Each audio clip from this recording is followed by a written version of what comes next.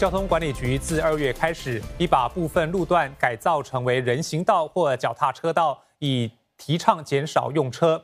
试行改造的乌兰海军部村庄马路和和乐路已经开放给公众使用。记者吴良祥报道。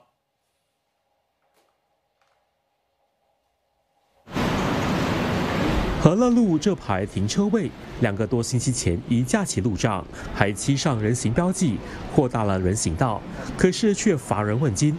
现在看起来好像不完整，好像在正在正在施工，所以我觉得好像好像还没有安全。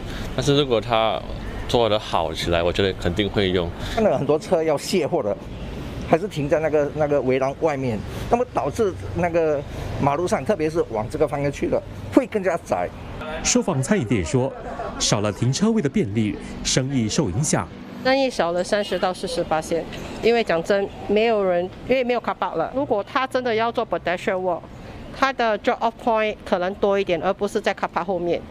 另外，是新改造成行人专用空间和巴士专用道的乌兰环路，改变了居民的出行习惯和生活作息。开始有一点居民在这里做一些呃运动啊之类的东西了，要散步的比较多吧，啊，比较那些中年级的在这里，傍晚的时间呢。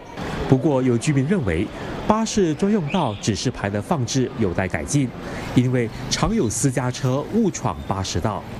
有机车 near accident，resident 有的赶去做工，他们就走快快，连车又刹进去，从国内这样刹进去。